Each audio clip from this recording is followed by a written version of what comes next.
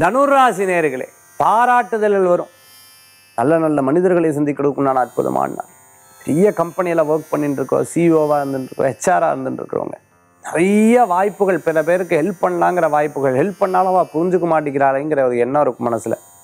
இருப்பினும் இனி எடுக்கக்கூடிய முயற்சி யாருக்காவது உதவியாக இருக்கட்டும்னு செயல்படுவில் நிச்சயம் உங்களுக்கு கை கொடுக்கும்.